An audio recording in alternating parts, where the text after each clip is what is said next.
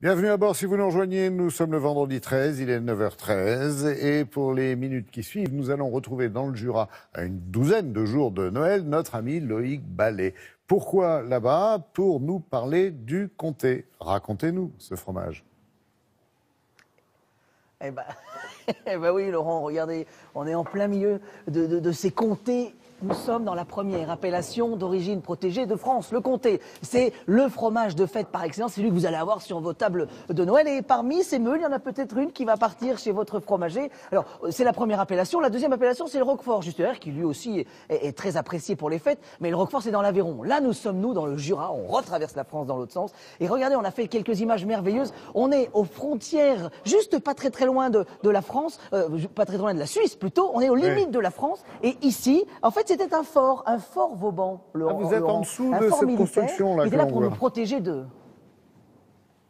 Ah bah exactement, on est en dessous. En fait, il y a des mètres et des mètres de terre. Et en fait, il y a quelques années, quand le, fort a été déclassé, en fait, on l'a euh, repris et et re- reconverti en cave d'affinage. 140 000 meules de, comté sont autour de nous. C'est pratiquement le travail de 30 fruitières. 30 fruitières, c'est le nom qu'on donne aux fromageries ici dans le Jura et dans la Savoie. C'est là où on fabrique le fromage. Et alors, ce qui est intéressant de dire, c'est que là, nous sommes dans, dans la partie affinage, mais tout au bout, tout au bout de la chaîne, au point de départ, il y a les producteurs laitiers qui vont, eux, récolter toute l'année, été comme hiver, du lait. 380 producteurs laitiers travaillent pour fournir ces 140 000 meules. Ça, c'est assez magique. Regardez, ça, c'est le chaudron en cuivre. Ça fait partie de l'appellation d'origine protégée du comté. Et là, on est en train de les laisser maturer, de s'affiner, en fait. C'est ça l'affinage? On le laisse passer du temps. Oui, ah bah, alors la- l'affinage est, est- alors, en fait, l'idée c'est de prendre son temps. Et qu'est-ce qui va se passer quand on va prendre son temps pendant cet affinage? En fait, tout petit à petit, on va conserver le fromage. Il va petit à petit perdre un petit peu d'eau et délicatement, je pousse parce que c'est un peu lourd, 40 kilos euh, ici, ici. Alors juste. Quand l'eau va s'évaporer, en fait, il faut s'imaginer que de dans le fort, chaque année, c'est 800 tonnes de fromage qui s'évapore. C'est la part des anges, un peu comme dans le vin. Et l'idée de, l'affinage, c'est de concentrer le goût, réveiller le goût. Et surtout, regardez, là, je vous ai pris deux comtés diamétralement différents. Celui-ci, d'après vous, quel âge a-t-il, Laurent Je sais rien, peut-être une dizaine d'années, non? Ah, un petit peu moins quand même, un petit peu moins. Il est de 2015. Il est de 2015. Et si on regarde, il est légèrement beaucoup plus petit, plus fin Bah, normal, que celui d'à côté, qui lui est de 2018, qui est un genou, un jeune homme. Voilà. 10 kilos de différence entre les deux. Et, et c'est ça qui est intéressant, c'est que plus en fait le fromage va vieillir, plus il va euh, s'affiner, plus il va perdre un petit peu de poids. Et petit à petit, eh bien en fait, euh, en perdant du poids, c'est un peu le paradoxe du fromager, c'est qu'il va monter en prix. Et ça, c'est important de Ouais. demander le nombre de mois d'affinage de votre fromage et de votre comté. Bon, on va regarder ce qu'il a dedans. On va regarder ce qu'il a dans le ventre, Volontiers. Laurent. Il faut dire quand et même alors, que le, comté, c'est un des Laurent, blasons quand même de- des productions françaises. hein. Dans le monde entier, on connaît le comté. Ah bah.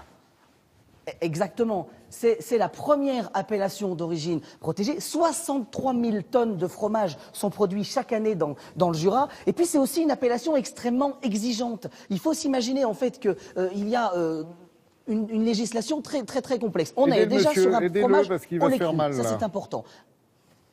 Oui, oui, je, je vais l'aider, je vais l'aider, je vais Ah, l'aider. Je vais l'aider oui. parce que ça fait, ça fait 40 kilos et vous imaginez pas, la, on va couper en deux, il y aura d'un côté 20 kilos, de l'autre 20 kilos. Vous dire aussi que l'alimentation de la vache est importante. On interdit euh, l'alimentation à base d'OGM, ça c'est une évidence et c'est important. Pareil pour l'interdiction de l'ensilage et puis aussi euh, les, les prés, parce que durant le printemps et l'été, les vaches sont à l'extérieur et il leur faut au minimum 10 000 mètres carrés par vache. Ça, c'est intéressant. Et puis la valorisation du lait, on en parle souvent euh, dans, dans la rémunération du producteur laitier. Ici, on est dans un prix qui est autour de 80% plus élevé que le prix moyen du lait en France. Ça, c'est important aussi. Ça veut dire que quand on est dans l'appellation, on valorise aussi le travail du, du producteur laitier. Bon, alors, Jean-Charles Arnaud, expliquez-nous euh, juste la particularité quand même de ce lieu. Parce que là, on le vient d'ouvrir. C'est un lieu tout à fait, euh, j'allais dire un peu hors norme, Oui. avec des voûtes de pierre euh, fantastiques, des kilomètres de voûtes de pierre. Et, et qu'est-ce que ça change en fait d'être dans ce lieu-là en fait? Qu'est-ce que ça apporte Alors la ici, il y a une stabilité de climat Oui. extraordinaire et on a surtout un mouvement d'air naturel qui est vraiment déterminant Ça c'est la voûte qu'on voit au-dessus qui aide ça en fait, Oui. qui naturellement va conserver le fromage. et surtout va permettre un mouvement permanent effectivement donc dans la, dans la cave et qui va nous permettre de concentrer des gaz qui sont très importants pour la vie qui se développe à la surface de nos fromages. Et puis moi, ce que j'aime, c'est qu'ici, on se projette dans l'avenir. C'est-à-dire qu'en fait, là, on a reconstruit à l'identique dans certains endroits parce qu'il y avait certaines cavités qui n'étaient pas complètement à la taille pour accueillir les, meules. Et à chaque fois, on a construit en pierre de taille. On garde ce. Oui, on ne voulait pas mettre des panneaux en polyester, polyuréthane, en pétrole. C'est beaucoup plus long, beaucoup plus coûteux, mais on refait Oui, tout mais on en pense aux générations futures aussi. là. Exactement. Alors, juste pour terminer, un tout petit coup là. Juste, vous savez que Laurent, les, les comtés parlent. Écoutez, écoutez. Eh, eh, on entend bien. Il faut être capable de comprendre ce qu'ils nous disent. Et là, C'est il ça, dans la croûte, là. qu'il est heureux et qu'il est content d'être dans Télématin. on est bien dans Télématin. c'est ce qu'il est en train de dire, le comté. Merci beaucoup, merci au fromage et merci à vous, messieurs, euh, pour euh, cette jolie balade euh, dans le Jura, même si on a été un petit peu sous terre. On sait qu'il neige dehors, on a vu de magnifiques images. Merci à l'équipe de Télématin.